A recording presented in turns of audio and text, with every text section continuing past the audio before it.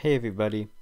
So for this four week project, I decided to do composition and I composed piano scores and drum cadences. So it was a really cool project.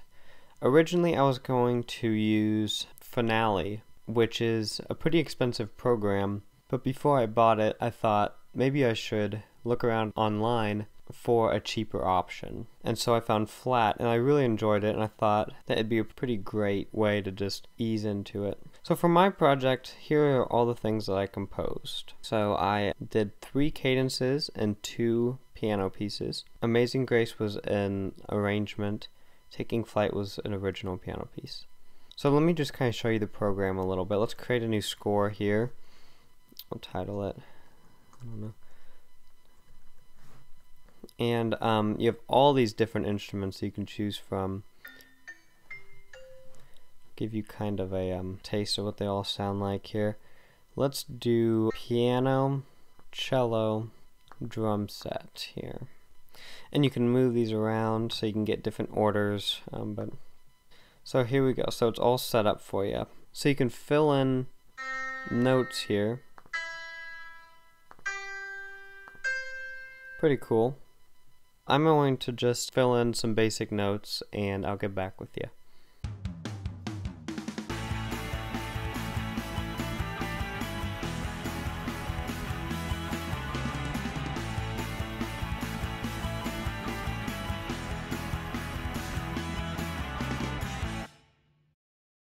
Okay, so I'm back, and this is kind of what I came up with, just a really basic kind of score here. It's a really cool program. A lot you can do. I'm going to change the length of this for one thing. Actually, let's make it a whole note. There we go. Make that a whole note. And you can even change like dynamics here. Let's say we want this to crescendo, decrescendo, crescendo, and this be fortissimo fortissimo right there. You can also change like articulation or, or add ornaments, I guess, um, is what they call it. So this this last chord, I want to want to roll it. So we're gonna do that, and you notice that this last chord changes, and now it sounds like this.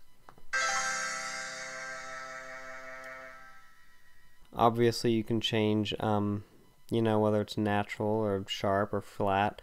You can even change clef signs or do key changes, change the um, time signature, add repeats. You know, there's a lot you can do with this.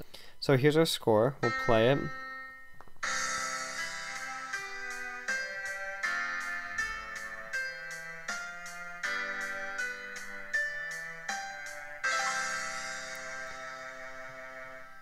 Pretty cool. And one of the downsides, I guess, is the computer. It's hard for the computer to um, distinguish like dynamics and stuff. So the computer oftentimes will not do the dynamics very well. But for a free program, I think it's still really cool. Let's change the tempo. Let's kind of pick it up a little bit. Let's go about mm, 95 or so.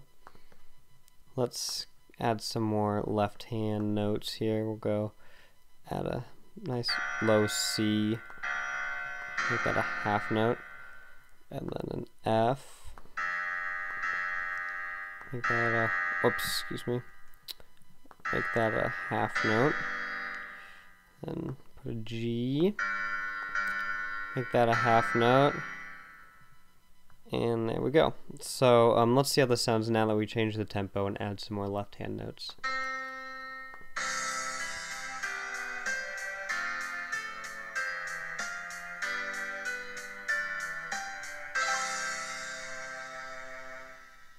So when you're done with your score, another really cool thing, let's change it to,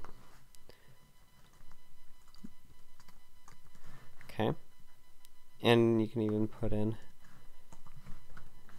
composer name. So when you're done, you can export it.